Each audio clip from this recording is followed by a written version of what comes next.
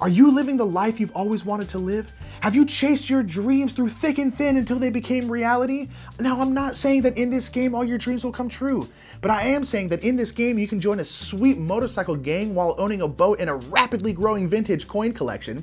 In The Pursuit of Happiness, designed by David Chircop, Adrian Abela, and Vangelis Bagiartakis, and published by Artipia Games, you get to live the life you've always dreamed. Or your worst nightmare. It's really up to you.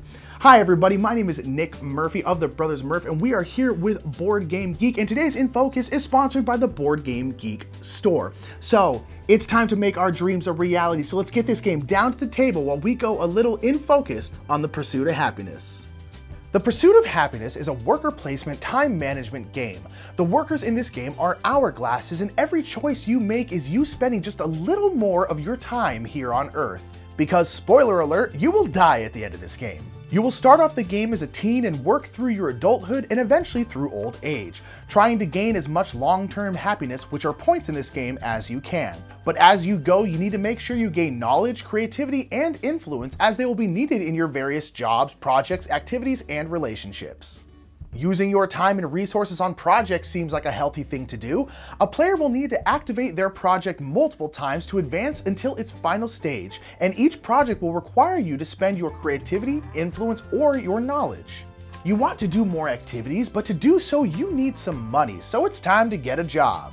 You will always have to start at a level 1 job, but don't worry, if you work hard and spend resources, you can get promoted.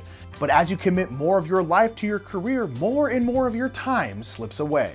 But it's okay because now we have some money, so let's start some wild and irresponsible activities.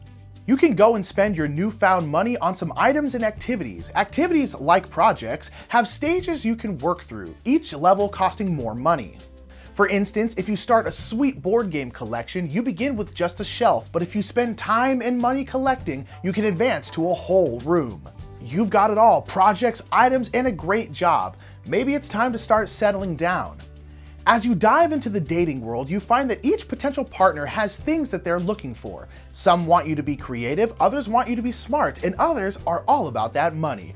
And each relationship card has identical male and female sides. But like careers, the deeper you get into a relationship, the more time it takes, leaving you less time for activities and projects. But who says you have to be in a relationship or have a job? Maybe you want to be in several relationships or have three jobs. You can live the life you want to live in this game, but be careful because the more reckless you are with your life, the more stress you will accrue.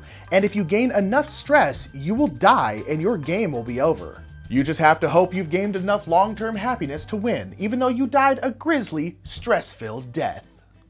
No, Greg, I can't go to your play. I don't have time. Yes, Jenny, I'm dating seven other people, and yes, it is stressful. Living your best life is hard, but in this game, you can really live whatever life you want. You could have three jacuzzis, a boat, and no job. But will that bring you long-term happiness, or will it lead you to an early death? You're gonna have to find out when you play The Pursuit of Happiness. And if The Pursuit of Happiness seems like a game you might enjoy, make sure to check out its page on BoardGameGeek.com and join the discussion. Until next time, I have been Nick Murphy. We've been here with Board Game Geek, and we've been going in focus on the pursuit of happiness. Have a great day.